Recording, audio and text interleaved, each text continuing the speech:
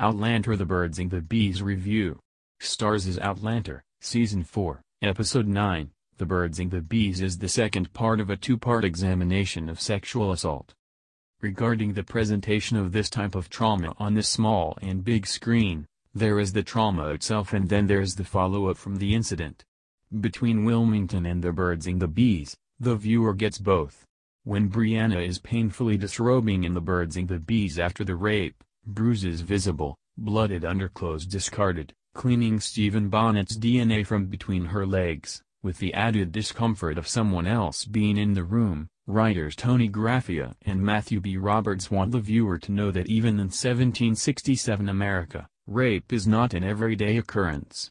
Degradation of this nature transcends a year, a country, and a situation. It cuts through everything and lands on the human heart and in the human mind. That is what the viewer witnesses during the cleansing and as Brianna Brie Randall Fraser, Sophie Skelton, rests head to pillow on the greatest and most horrific night of her life. Secrets in the world of Outlander sometimes have dire, unforeseen consequences. This season of Outlander has had a tantalizing increase in held secrets that have twisted and turned what would have been in good narrative into a riveting storyline. Claire Fraser, Caitriona Balfe, holding the identity of Brianna Randall's sexual attacker in confidence bears unfortunate fruit in the birds and the bees as does the bearing of secrets Elizabeth Lizzie Wemyss, Caitlin O'Ryan, has no right to reveal to another living soul. If Brianna didn't want to talk about her sexual assault with Lizzie, doesn't it stand to reason that she wouldn't want Lizzie to talk about Brianna's resultant condition after the assault to anyone?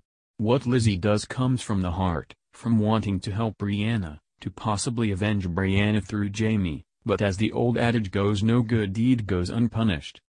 What Lizzie says combined with the secret identity of Brianna's attacker leads to one of the most grueling pieces of television, next to the rape in Wilmington, that has been on TV in some months. When James Jamie Mackenzie Fraser, Sam Heughan, beats Roger Wakefield Mackenzie, Richard Rankin, bloody and senseless in The Birds and the Bees, the viewer feels sickened and saddened. Jamie Fraser is righteous in nearly beating Roger to death but bludgeons the wrong person. With every punch and kick, the fear that Roger will be beaten to death grows in the mind of the viewer. It's that fear, as skin smacks against bloody skin, that is the worst part of the beating. If Jamie did beat Roger to death then found out afterward who Roger really was, Jamie would never forgive himself, and Brianna, the daughter that Jamie is trying to get to know, would find it extremely difficult to look Jamie him in the eyes. Luckily for all parties concerned, this tragedy is avoided.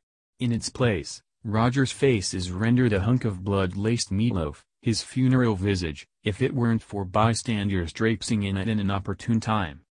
I hope Ian Murray Jr., John Bell, does not kill Roger Wakefield after carrying his unconscious body into the woods.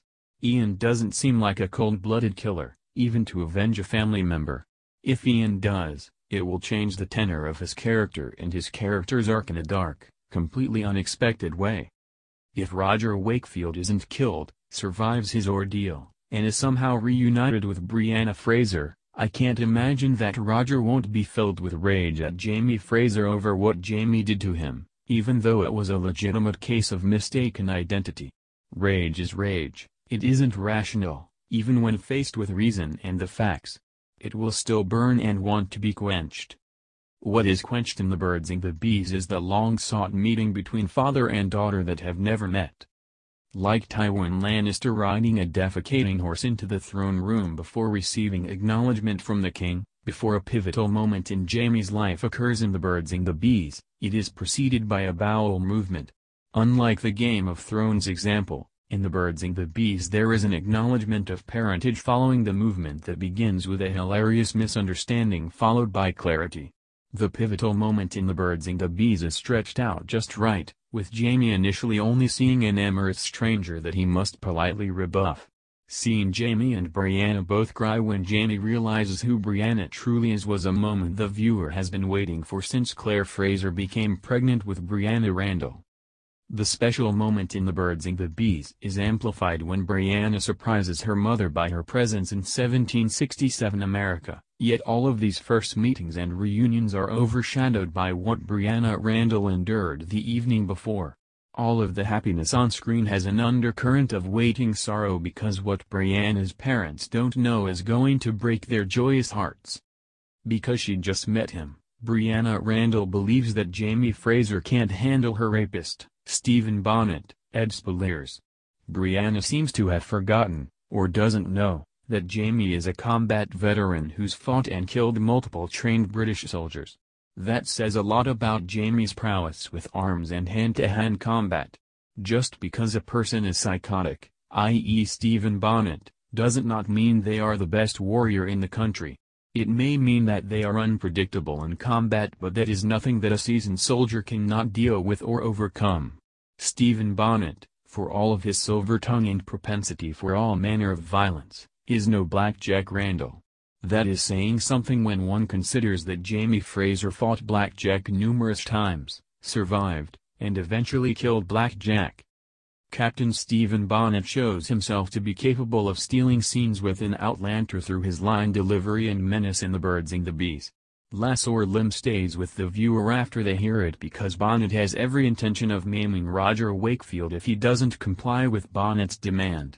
What also stays with the viewer is Roger's cold regard for Captain Bonnet, Bonnet's obliviousness to it, the relish Bonnet has with dispelling a dream, and telling someone what's what, to that person's dismay. Bonnet is capable of going from friendly to bleak in a microsecond whereas Black Jack Randall seemed to exist only in darkness, rivaling in it, like a Sith.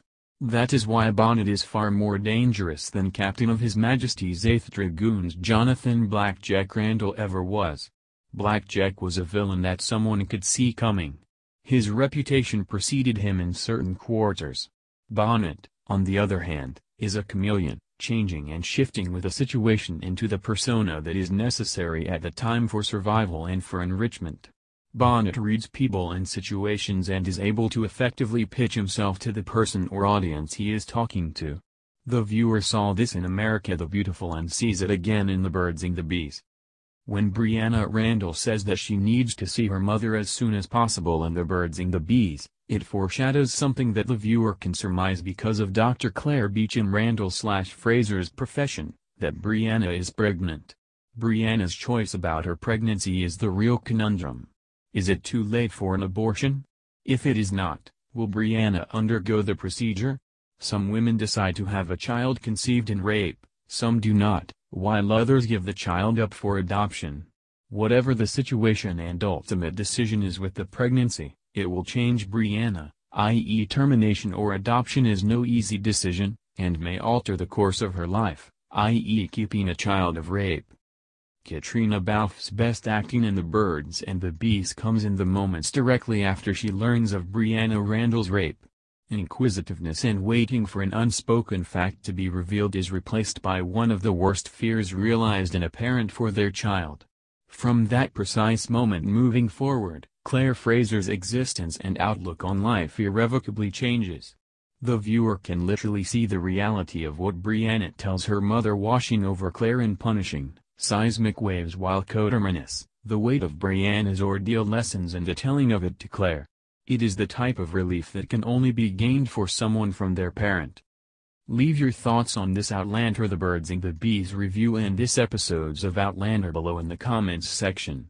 Readers seeking more Outlander can visit our Outlander page, our Outlander Facebook, and our Outlander Google Plus page. Readers seeking more TV show reviews can visit our TV show review page, our TV show review Twitter page, our TV show review Facebook page, and our TV show review Google Plus page. Want up to the minute notification? Film Book staff members publish articles by email, Twitter, Tumblr, Google Plus, and Facebook.